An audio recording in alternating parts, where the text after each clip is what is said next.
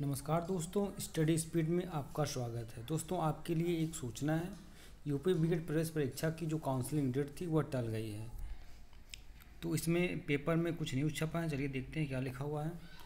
लिखा है, इसमें राजधानी समेत प्रदेश के बीएड कॉलेज में प्रवेश के लिए प्रस्तावित काउंसलिंग को फ़िलहाल टाल दिया गया है। अब यह काउंसलिंग आगामी अक्टूबर माह में आयोजित की जाएगी मतलब कि अगले महीने में आयोजित की जाएगी। प्रदेश कि कई राज्य विश्वविद्यालय में अभी तक स्नातक अंतिम वर्ष की परीक्षा न होने और कई नतीजे न आने के कारण यह फैसला लिया गया है।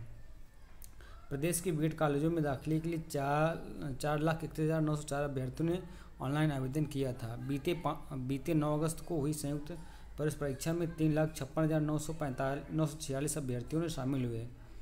पाँच सितंबर को इनके नतीजे भी जारी कर दिए, नतीजे भी जारी कर दिए गए। अब ऑनलाइन ऑफ़ कैंपस काउंसलिंग कराई जानी है।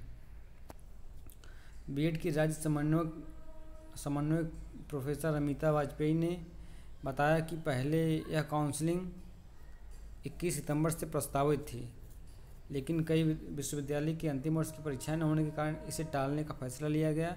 इन्होंने बताया कि शासन ने भी इसे स्वीकार कर लिया है। नई तिथियों के संबंध में प्रस्ताव मांगा गया है। इसको लेकर सोमवार को सलाहकार समिति की बैठक का आयोजन किया जा रहा है। बैठक में नई तिथियों पर फैसला लिया जाएगा।